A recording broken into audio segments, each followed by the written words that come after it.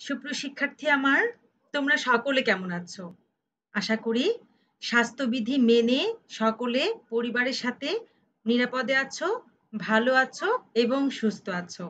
প্রিয় শিক্ষার্থী, করোনাকালীন সময়ে তোমরা কিন্তু এখন অনেক অবসর সময় পেয়েছ। এই সময়টা তোমরা নষ্ট করছ না তো? আমি জানি তোমরা নষ্ট করছ না। কারণ জ্ঞানী ও বুদ্ধিমান ব্যক্তিরা কখনোই সময় অপচয় করেন না। প্রিয় শিক্ষার্থী সময়ের অপচয় না করে ঢাকা কলেজ কর্তৃক আয়োজিত অনলাইন ক্লাসে তোমরা অংশগ্রহণ করো, সেই মতো নোট করো, পড়াশোনা চালিয়ে নিজেদের উন্নয়নের পথ অব্যাহত রাখো। প্রিয় শিক্ষার্থী, চলো আজকে তাহলে আমরা আমাদের অনলাইন ক্লাসে চলে যাই। আমার অনলাইন ক্লাসে তোমাদের সকলকে স্বাগত আজকের ক্লাসটি পরিচালনা করছি আমি শ্রাবণী ধর। প্রভাষক ব্যবস্থাপনা বিভাগ, ঢাকা কলেজ। আজকে আমি এম এর ব্যবস্থাপনা চিন্তাধারার ষষ্ঠ অধ্যায়, যুক্তরাজ্য, যুক্তরাষ্ট্র, জাপান ও ভারতের ব্যবস্থাপনা পদ্ধতির উপর ক্লাস নেব। আজকে আমার দ্বিতীয় ক্লাস। প্রিয় শিক্ষার্থী, গত ক্লাসে আমরা কি কি শিখেছিলাম? একটু দেখিনি গত ক্লাসে আমরা জাপানের ব্যবস্থাপনা পদ্ধতি সম্পর্কে জেনেছিলাম এবং জাপানের ব্যবস্থাপনার বৈশিষ্ট্যগুলো সম্পর্কে জেনেছিলাম। তাহলে চলো, প্রিয় শিক্ষার্থী, আজকে আমরা কি কি শিখব? আজকে আমরা যুক্তরাষ্ট্র ও জাপানের ব্যবস্থাপনা পদ্ধতির তুলনামূলক বিশ্লেষণগুলো দেখব এবং জানব এবং খুব জনপ্রিয়, পুরো বিশ্বে জনপ্রিয় থিওরি জেট বা জেট তত্ত্ব। সেই জেট তত্ত্ব সম্পর্কে আজকে আমরা জানব এবং শিখব। প্রিয় শিক্ষার্থী, তাহলে প্রথমে যে টপিক সেটি হচ্ছে যুক্তরাষ্ট্র ও জাপানের ব্যবস্থাপনা পদ্ধতির তুলনা। সুপ্রিয় শিক্ষার্থী, যুক্তরাষ্ট্র কিন্তু বিশ্বের একটি শিল্পোন্নত পুঁজিবাদী রাষ্ট্র। পুরো বিশ্বে শিল্পোন্নত দেশগুলোর মধ্যে যুক্তরাষ্ট্র অন্যতম। এদেশে বৈজ্ঞানিক আন্দোলনের সূত্রপাত হয়, আমরা জানি। তো শিক্ষার্থী, আধুনিক ও উন্নত মানের প্রযুক্তির সফল ব্যবহার আমেরিকার ব্যবস্থাপনার গুণগত মান করেছে অত্যন্ত উন্নত। অপরদিকে, দ্বিতীয় বিশ্বযুদ্ধে পরাজিত একদম ভঙ্গুর জাপানের জনগণের প্রচণ্ড মনোবল ও জাতির প্রতি দৃঢ় অঙ্গীকার জাপানি জাতিকে অর্থনৈতিকভাবে ঘুরে দাঁড়াতে সাহায্য করেছে। তো শিক্ষার্থী, আমরা জানি যে দুইশো বছরেও কিন্তু যুক্তরাষ্ট্রের ব্যবস্থাপনা উন্নয়নে কোনো প্রতিবন্ধকতা দেখা দেয়নি। কিন্তু জাপানের দ্বিতীয় বিশ্বযুদ্ধে জাপানের পরাজয়ের কারণে জাপান কিন্তু অনেকটাই পিছিয়ে গেছিল। কিন্তু জনগণের প্রচণ্ড মনোবল ও জাতির প্রতি দৃঢ় অঙ্গীকার জাপানের অর্থনৈতিকে, অর্থনৈতিকভাবে তাদেরকে ঘুরে দাঁড়াতে সাহায্য করেছে। এবং ব্যবস্থাপকীয় গুণাবলীর চমৎকার দৃষ্টান্ত স্থাপনের মাধ্যমে জাপান খুব দ্রুত গতিতে সমৃদ্ধ অর্জন করেছে। এবং দুটি দেশে শিল্পোন্নত দেশ, আমরা জানি যুক্তরাষ্ট্র এবং জাপান, দুটি দেশই কিন্তু খুব উন্নত দেশ, শিল্পোন্নত দেশ। তো তারপরেও যুক্তরাষ্ট্র এবং জাপানের যে ব্যবস্থাপনা পদ্ধতি, এই ব্যবস্থাপনা পদ্ধতিগুলো, চলো আমরা একটু এই দুইটার পদ্ধতিগুলো জানি এবং দুইটার মধ্যে তুলনা করি। এখানে দেখো, আমি তোমাদের ছক আকারে উপস্থাপন করেছি তোমাদের জন্য। প্রথমতই বলেছি তুলনার বিষয়। তুলনার বিষয়গুলো সম্পর্কে আমি বিশদভাবে আলোচনা করব। তো এখানে যেভাবে পয়েন্টগুলো জাস্ট তোমাদের বোঝার স্বার্থে পয়েন্টগুলো আমি ফোকাস করেছি, তোমরা কিন্তু এইভাবে পয়েন্টগুলো পরীক্ষার খাতাতে লিখবা না। এগুলোর বিশদ বর্ণনা তোমাদের পরীক্ষার খাতাতে করতে হবে, বুঝতে পেরেছ? এখানে কি কি বিষয়গুলো আলোচনা করতে হবে? আমি শুধু সেই বিষয়গুলো এখানে দিয়েছি এবং আলোচনাটা কিন্তু আমি মৌখিকভাবে তোমাদের করব। তো সেই আলোচনাগুলো গুলো শুনবা প্রয়োজনে নোট করবা এবং সেইগুলো পুরোটা পরীক্ষা খাতাতে তোমরা উপস্থাপন করলেই তোমাদের মার্কসটা কিন্তু ভালো অর্জন হবে। তো এবং এটি খুব গুরুত্বপূর্ণ বিষয়। যুক্তরাষ্ট্র এবং জাপানের যে ব্যবস্থাপনার তুলনামূলক বিশ্লেষণ খুব গুরুত্বপূর্ণ বিষয়ের সাথে সাথে থিওরি জেট এটিও খুব গুরুত্বপূর্ণ বিষয়। আশা করি তোমরা মনোযোগ সহকারে ক্লাসটি করবে। তাহলে চলো, প্রথমে যে বিষয় সেটি হচ্ছে গণতান্ত্রিক প্রক্রিয়া। আমরা জানি যে যুক্তরাষ্ট্র একটি গণতান্ত্রিক রাষ্ট্র রাষ্ট্র। তারপরেও কিন্তু যুক্তরাষ্ট্রে ব্যবস্থাপনা পদ্ধতিতে যুক্তরাষ্ট্রের গণতান্ত্রিক মডেল কিন্তু সেই রকম ভাবে স্থাপিত হয়নি। অর্থাৎ যেহেতু এখানে মতামত নিম্ন স্তরের শ্রমিকদের, কর্মচারীদের কাছ থেকে খুব বেশি মতামত তাদেরকে নেওয়া হয় না, তাদের কাছ থেকে নেওয়া হয় না বা তাদের মতামতে খুব বেশি প্রাধান্য দেওয়া হয় না। এই জন্য দেখা যাচ্ছে যে যুক্তরাষ্ট্রের গণতান্ত্রিক মডেল সেই অর্থে সেই রকম ভাবে স্থাপিত হয়নি। অপরদিকে আমরা জাপানের দিকে তাকাই, আমরা দেখি যে জাপান কিন্তু গণতান্ত্রিক উপায়ে শ্রমিক কর্মীদের পূর্ণ অংশগ্রহণ নিশ্চিত করেছে তাদের ব্যবস্থাপনা পদ্ধতিতে। কারণ জাপান শ্রমিক কর্মীদের মতামত গ্রহণ করে, তাদের মতামতে প্রাধান্য দেয় এবং এখানে কিন্তু যৌথ দায়িত্ব, যৌথ সিদ্ধান্ত গ্রহণ ব্যবস্থাপনা পদ্ধতিতে আমরা দেখে থাকি যেখানে যৌথ সিদ্ধান্ত গ্রহণ হয়ে থাকে। যার জন্য জাপান কিন্তু গণতান্ত্রিক মডেল স্থাপিত স্থাপন করেছে ব্যবস্থাপনা পদ্ধতিতে। তো গণতান্ত্রিক প্রক্রিয়া নিশ্চয়ই তোমরা বুঝতে পেরেছ, যুক্তরাষ্ট্র এবং জাপান। আমরা আরেকটি বিষয় দেখি, যে সিদ্ধান্ত গ্রহণ প্রক্রিয়া। এখানে দেখা যাচ্ছে যে যুক্তরাষ্ট্রের ক্ষেত্রে দেখা যায় যে এখানে উচ্চ স্তরের যে ব্যবস্থাপকগুলো থাকে, যে উপরের স্তরে যারা থাকে, প্রশাসন সেই উপরের স্তরের ব্যবস্থাপকরাই কিন্তু বা উচ্চ স্তরের ব্যবস্থাপকরাই কিন্তু সিদ্ধান্ত গ্রহণ করে থাকে। এবং তারা যে সিদ্ধান্ত গ্রহণ করে, তারা যে পরিকল্পনা করে সেই সিদ্ধান্ত মোতাবেক কিন্তু মধ্যম স্তরের বা নিম্ন এবং নিম্ন স্তরের ব্যবস্থাপকদের সেই মতোই তাদের তাদেরকে ইমপ্লিমেন্ট করতে হয় বা সেই মতো ভাবে তাদেরকে কার্য সম্পাদন করতে হয়। এখানে কিন্তু মধ্যস্তর এবং নিম্ন স্তরের ব্যবস্থাপকরা খুব বেশি সিদ্ধান্ত গ্রহণ প্রক্রিয়ার সাথে জড়িত নয়। অপরদিকে আমরা জাপানের দিকে যদি লক্ষ্য করি, তাহলে আমরা দেখছি যে জাপানের শ্রমিক কর্মী প্লাস ব্যবস্থাপক, অর্থাৎ কি? এখানে শ্রমিক, কর্মী এবং ব্যবস্থাপক উভয়ই কিন্তু সিদ্ধান্ত গ্রহণ প্রক্রিয়াতে অংশগ্রহণ করে। এখানে শ্রমিক কর্মীরা তাদের মতামত ব্যক্ত করে, সিদ্ধান্ত গ্রহণ করে এবং ব্যবস্থাপকরাও তাদের মতামত সিদ্ধান্ত গ্রহণের ভিত্তিতে যৌথ সিদ্ধান্ত গ্রহণ করে থাকে। ঠিক আছে? এরপরে দেখো যে শ্রমিক প্রতিনিধি। শ্রমিক প্রতিনিধির ক্ষেত্রে বলা হচ্ছে যে পরিচালনা যে পর্ষদ থাকে, আমরা জানি, যারা একটি কোম্পানি পরিচালনা করে থাকে। ঠিক আছে? সেই পরিচালনা পর্ষদ শ্রমিক সেই পরিচালনা পর্ষদে কিন্তু যুক্তরাষ্ট্রের দিকে যদি আমরা তাকাই, তাহলে যুক্তরাষ্ট্রে সেই পরিচালনা পর্ষদে শ্রমিক প্রতিনিধি কিন্তু থাকে না। যুক্তরাষ্ট্রে, কি বললাম? পরিচালনা পর্ষদে শ্রমিক প্রতিনিধি থাকে না। তারা থাকেই না, তো তারা মতামত দিবে কীভাবে?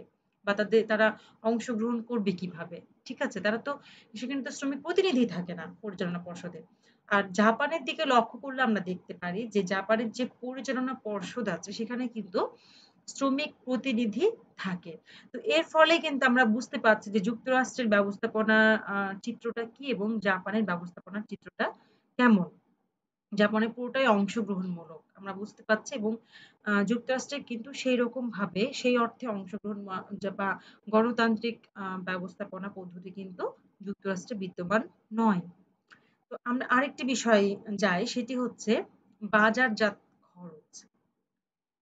যুক্তরাষ্ট্র সেই অর্থে পণ্য বা প্রোডাক্টের পুরে কিন্তু টোটাল কোয়ালিটি কন্ট্রোল যেটা, মান নিয়ন্ত্রণ কিন্তু সেই অর্থে করে থাকে না। মানে সেই রকম ভাবে করে থাকে না। যতটা তারা বাজারজাতকরণের বা মার্কেটিং এর দিকে যতটা তারা নজর দেয়, ততটা নজর কিন্তু তারা পণ্যের কোয়ালিটি বা মান নিয়ন্ত্রণের উপর দিয়ে থাকে না।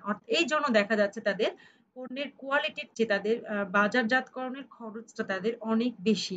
তারা মনে করে যে যত যেমন পণ্যই হোক না কেন, পণ্যটি ভোক্তার কাছে খুব সহজে দ্রুত উপায়ে দক্ষভাবে ভোক্তার কাছে পণ্যটি পৌঁছে দিতে হবে এবং ভোক্তাদেরকে অবগত করতে হবে সেই পণ্য সম্পর্কে।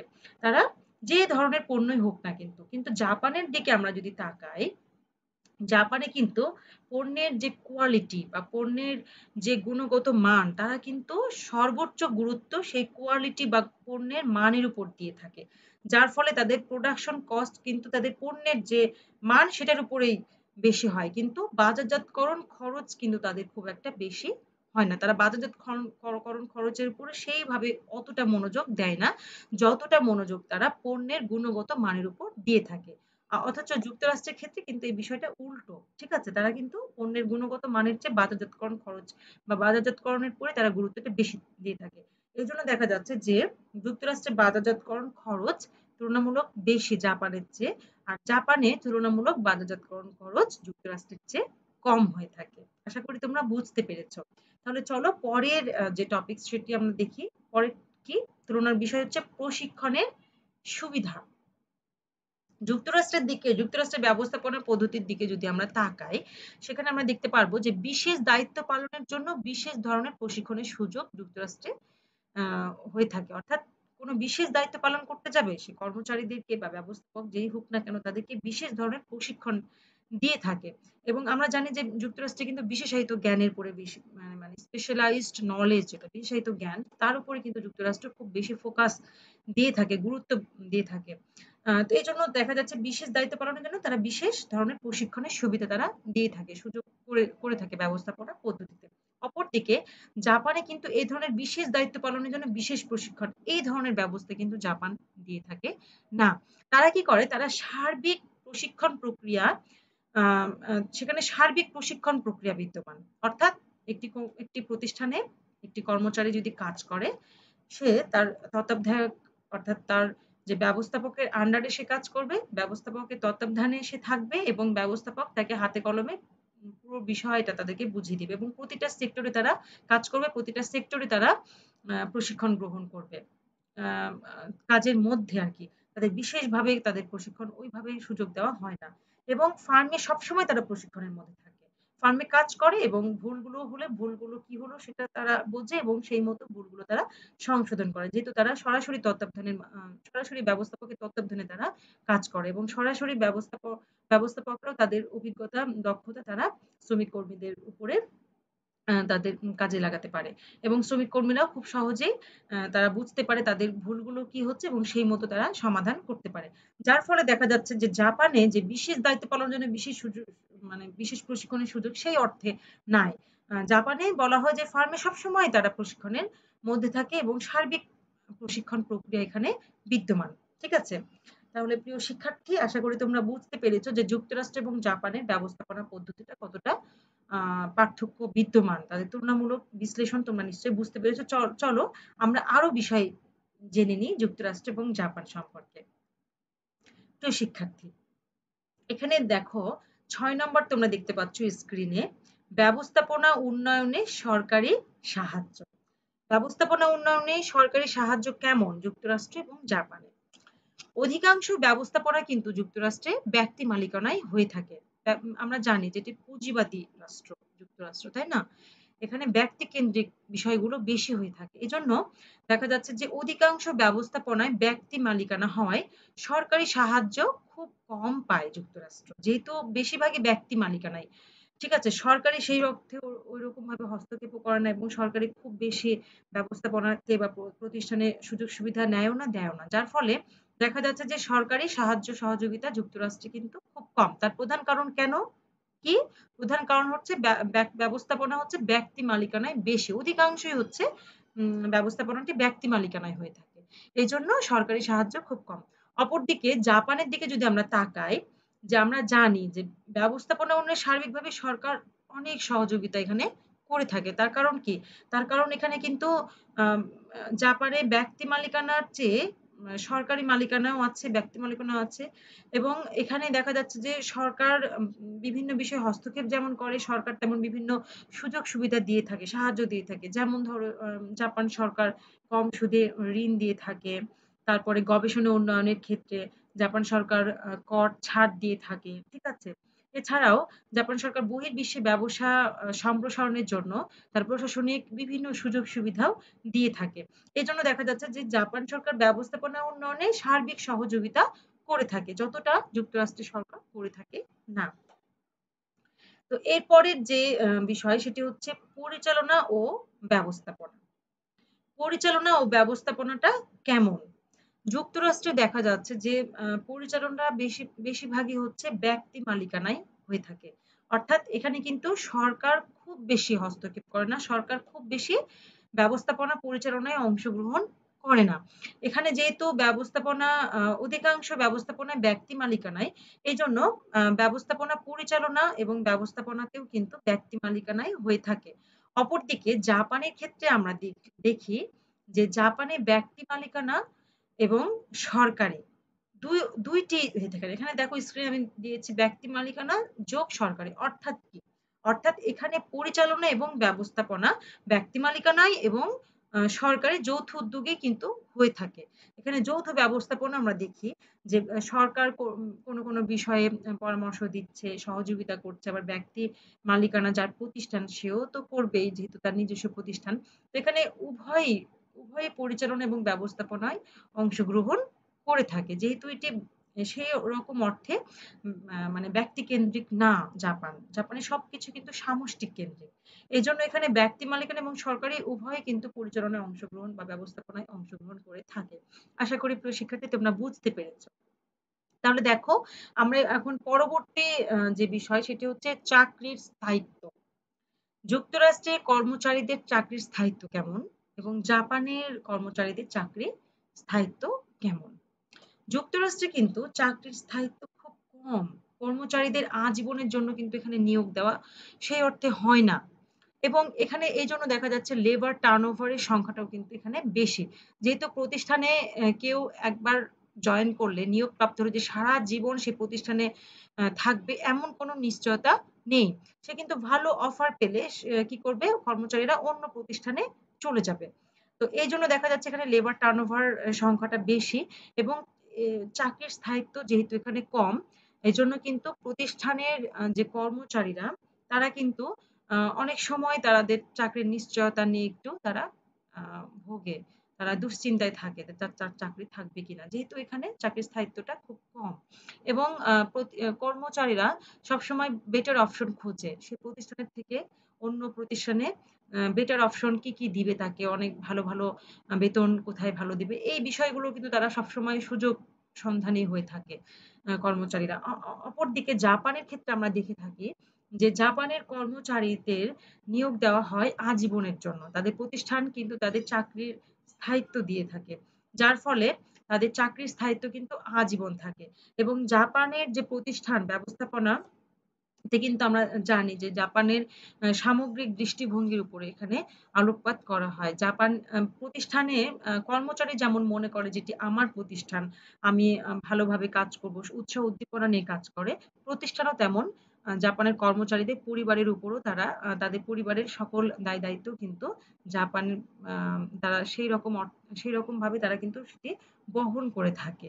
এই জন্য দেখা যাচ্ছে যে তারা মানে খুব ভালোভাবে কাজ করতে পারে কর্মচারীরা এবং তারা হচ্ছে উৎসাহ উদ্দীপনা নিয়ে কাজ করে এবং তাদের যে দুশ্চিন্তা দুশ্চিন্তা মুক্ত হয়ে তারা কাজ করতে পারে তাদের প্রতিষ্ঠানে। যেহেতু তাদের চাকরির স্থায়িত্ব আছে, তাদের চাকরি চলে যাবে এরকম কোনো ভয় কিন্তু জাপানি ব্যবস্থাপনাতে নাই।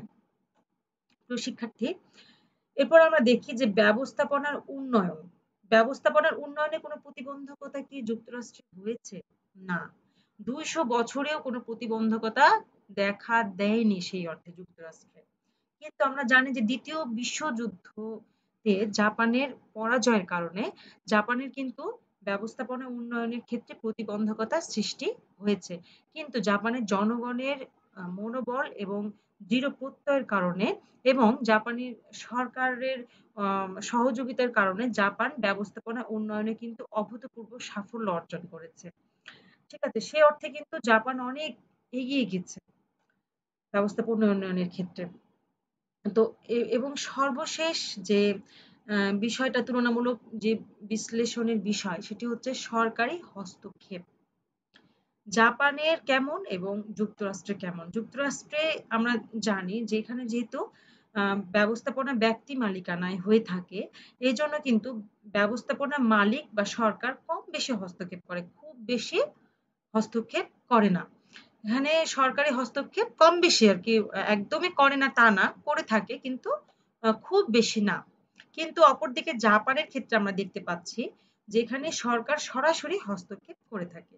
যেহেতু এখানে সামগ্রিক দৃষ্টিভঙ্গির একটি বিষয় আছে এবং এখানে প্রতিষ্ঠানগুলো মানে অধিকাংশ ব্যক্তি কেন্দ্রিক নয় এবং সামষ্টিক অর্থে এখানে মানে তাদের দর্শনই হচ্ছে সামষ্টিক অর্থে, ব্যক্তিক অর্থে না, ব্যক্তি কেন্দ্রিকতা না। তো সেই অর্থে দেখা যাচ্ছে সরকার কিন্তু এখানে সরাসরি হস্তক্ষেপ করে থাকে। তো শিক্ষার্থী আশা করি তোমরা যুক্তরাষ্ট্র এবং জাপানের যে ব্যবস্থাপনার বিষয়গুলো তোমরা জানতে পেরেছ। এর সাথে সাথে তোমরা গত ক্লাসে তো জাপানের ব্যবস্থাপনা সম্পর্কে বিশদভাবে জেনেইছ আজকে কিন্তু তোমরা যুক্তরাষ্ট্রের ব্যবস্থাপনা সম্পর্কে জানতে পারলা। প্রিয় শিক্ষার্থী, তাহলে তোমাদের যে যুক্তরাষ্ট্র এবং জাপানের যে তুলনামূলক বিশ্লেষণ, এটা তোমরা আলাদা করে এইভাবে নোট করবে এবং যুক্তরাষ্ট্রে তোমাদের বাড়ির পড়া থাকল যে যুক্তরাষ্ট্রে ব্যবস্থাপনা পদ্ধতি কেমন এবং যুক্তরাষ্ট্রের ব্যবস্থাপনার বৈশিষ্ট্যগুলো কি? তোমরা আশা করি এই লেকচার থেকে আলাদা করে তোমরা নোট করতে পারবা। এটি তোমাদের বাড়ির কাজ থাকল। তার সাথে সাথে তোমরা আরেকটি বিষয় এখানে নোট করবা বা পড়বা, সেটি হচ্ছে যুক্তরাষ্ট্র এবং বাংলাদেশের ব্যবস্থাপনার মিল এবং অমিলগুলো কোথায়? গত ক্লাসে তোমাদের পড়া দিয়েছিলাম, জাপানের সাথে বাংলাদেশের ব্যবস্থাপনার মিল এবং অমিলগুলো। আজকে তোমাদের পড়া দিলাম যুক্তরাষ্ট্রের সাথে মিলগুলো, অমিলগুলো বাংলাদেশের ব্যবস্থাপনার ক্ষেত্রে। ঠিক আছে? তো আশা করি আমরা কিন্তু যুক্তরাষ্ট্রের জাপানের মিল, অমিলগুলো অনেকটাই বুঝে গেলাম। চলো, প্রিয় শিক্ষার্থী, এখন আমরা সবচেয়ে যে জনপ্রিয় থিওরি সেটি হচ্ছে থিওরি জেট থিওরি জেট প্রিয় শিক্ষার্থী, এটি হচ্ছে অনেক জনপ্রিয় একটি প্রিয় শিক্ষার্থী, চলো, তাহলে আমরা থিওরি জেট বা জেট তত্ত্ব সম্পর্কে জেনে নিই। আন্তর্জাতিক ব্যবস্থাপনা বিকাশে থিওরি জেটের অবদান বেশ গুরুত্বপূর্ণ। প্রিয় শিক্ষার্থী, জেট তত্ত্বের ক্ষেত্রে আমরা জানি যে জেট তত্ত্বর প্রবক্তা কে? উইলিয়াম জি ওজি জাপানি গবেষক। তিনি কিন্তু এই জেট তত্ত্বের প্রবক্তা। প্রখ্যাত জাপানি গবেষক উইলিয়াম জি ওজি জাপানি ব্যবস্থাপনা সম্পর্কে অধ্যয়ন করে একটি তত্ত্ব প্রদান করেছেন, যেটি জেট তত্ত্ব নামে পরিচিত। উনিশশো বিরাশি সালে জাপানের কর্মী ব্যবস্থাপনা সম্পর্কে আলোকপাত করা হয়। তিনি এ তত্ত্বের বর্ণনা দিতে গিয়ে আমেরিকা ও জাপানি ব্যবস্থাপনার মধ্যে তুলনা করেছেন। আমেরিকার সংগঠনকে তিনি এ টাইপ অর্গানাইজেশন এবং জাপানি সংগঠনকে তিনি যে টাইপ অর্গানাইজেশন নামে অভিহিত করেছেন এবং উভয় সংগঠনের সংমিশ্রণেই জেড টাইপ অর্গানাইজেশনের উদ্ভাবন করেছেন। প্রিয় শিক্ষার্থী, উইলিয়াম জি ওচি উনি উনি উনি আমেরিকার ব্যবস্থাপনার সাথে জাপানি ব্যবস্থাপনাকে কীভাবে খাপ খাওয়ানো যায় সেই চিন্তা করে কিন্তু এই জেড তত্ত্বের উদ্ভাবন করেছেন। তিনি মনে করেন যে শ্রম, শ্রমিক ব্যবস্থাপনা সম্পর্ক হওয়া উচিত মধুর। এবং তিনি তিনি টিম ব্যবস্থাপনা টিম গঠন করার ক্ষেত্রেও তিনি তার মূল্যবান মতামত দিয়েছেন যে একটি প্রতিষ্ঠানে সবাই যৌথভাবে কাজ করবে, যৌথভাবে সিদ্ধান্ত নিবে এবং প্রতিষ্ঠানের শ্রমিক এবং ব্যবস্থাপনাদের ব্যবস্থাপনার মধ্যে সম্পর্ক হবে বন্ধুত্ব সম্পন্ন বা সৌহার্দ্যপূর্ণ। তো তাহলে প্রিয় শিক্ষার্থী, চলো আমরা দেখে নিই যে তিনি এ টাইপ অর্গানাইজেশন এবং যে টাইপ অর্গানাইজেশনকে কীভাবে দুইটি সংমিশ্রণে জেড টাইপ অর্গানাইজেশনের সৃষ্টি করেছেন। প্রিয় শিক্ষার্থী, দেখো, আমেরিকার ব্যবস্থাপনা কে বলা হচ্ছে অর্গানাইজেশন টাইপ এ এবং জাপানি ব্যবস্থাপনাকে বলা হচ্ছে অর্গানাইজেশন টাইপ জে তো এই এ এবং যে দুটিকে তিনি আলাদা আলাদা করে এখানে উপস্থাপন করেছেন। তাহলে আমরা একটু দেখে নিই, যদিও আমরা গত টপিক্সে দেখেছি আমেরিকার ব্যবস্থাপনা এবং জাপানি ব্যবস্থাপনার মধ্যে পার্থক্য।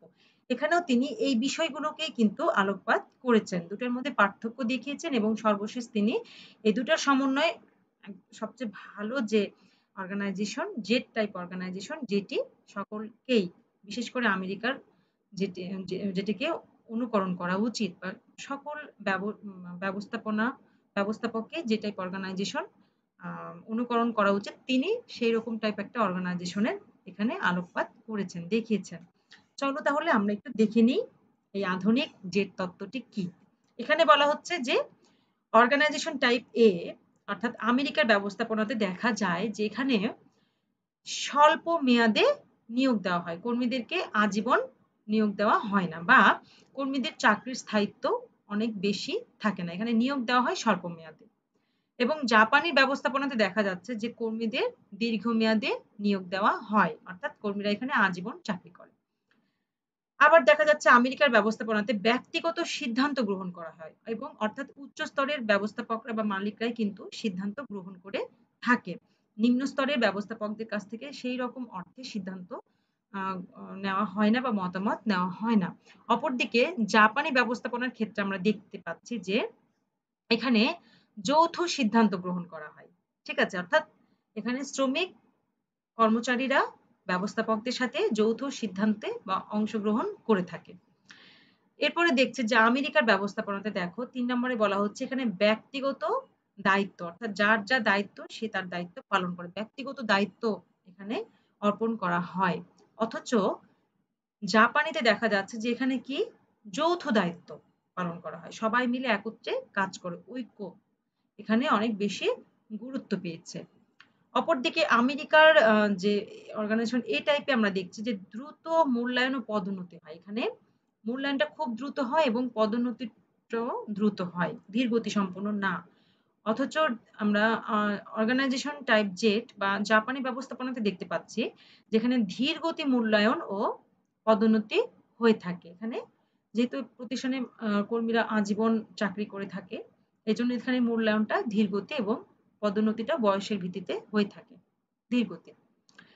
আমেরিকার যে ব্যবস্থাপনা, সেখানে আমরা দেখতে পাচ্ছি পাঁচ নম্বরে বিশেষায়িত কর্মপদ অর্থাৎ আমেরিকার ব্যবস্থাপনাতে দেখানো, এখানে দেখানো হয় যে বলা হয় যে কর্মীরা একটি বিষয় স্পেশালাইজড জ্ঞান অর্জন করবে নলেজ তাদের থাকবে, বিশেষায়িত জ্ঞান থাকবে এবং তারা ওই বিষয়ে চাকরি করবে, ওই বিষয়ে নিয়োগ লাভ করবে। ঠিক আছে? কিন্তু জাপানি ব্যবস্থাপনাতে আমরা দেখতে পাচ্ছি যেখানে অবিশেষায়িত কর্মপদ দেখতে পাচ্ছি। অর্থাৎ কর্মচারী কর্মী যে একটি বিষয়েই ভালো জ্ঞান লাভ করবে তা না। তাই এখানে দেখা যাচ্ছে তারা বিভিন্ন বিষয়ে বিভিন্ন ডিপার্টমেন্টে তারা ঘুরে ঘুরে জব রিটেশনের মাধ্যমে কাজ করে এবং বিভিন্ন বিষয়ে তারা দক্ষ হওয়ার চেষ্টা করে। বিভিন্ন বিষয়ে তারা দক্ষ হয়। এই জন্য এখানে বলা হচ্ছে যে অবিশেষায়িত কর্মপদ জাপানি ব্যবস্থাপনায়। এরপরে দেখো ছয় নম্বরে বলা হচ্ছে আমেরিকাতে কর্মীদের বিষয়ে পৃথক দৃষ্টিভঙ্গি থাকে। কর্মীদের বিষয়ে এখানে পৃথক মানে কর্মীদের আলাদা আলাদা ভাবা হয় এবং কর্মীদের বিষয়ে শুধু এখানে পৃথক আলাদা করে দৃষ্টিভঙ্গি থাকে। অথচ আমরা দেখতে পাচ্ছি যে জাপানিতে কর্মীদের বিষয় কিন্তু সামগ্রিক দৃষ্টিভঙ্গি থাকে। অর্থাৎ শুধু কর্মীকেই আলাদা করে দেখা হয় না। এখানে কর্মীকে দেখা হয়, তার সাথে সাথে কর্মীর পরিবারকেও কিন্তু সেই দৃষ্টিভঙ্গির মধ্যে আনা হয়।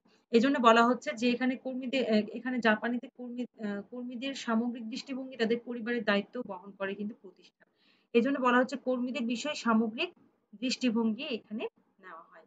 প্রিয় শিক্ষার্থী, তাহলে এই দুইটি টাইপ অর্গানাইজেশন এ এবং জেড এই দুইটি সমন্বয়ে সবচেয়ে ভালো একটি অর্গানাইজেশন তৈরি করেছে উইলিয়াম জি উইচি।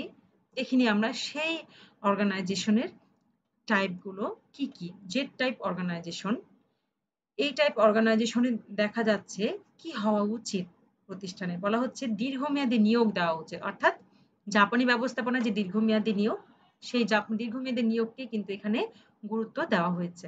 এরপরে দেখা যাচ্ছে যৌথ সিদ্ধান্ত গ্রহণ করা উচিত।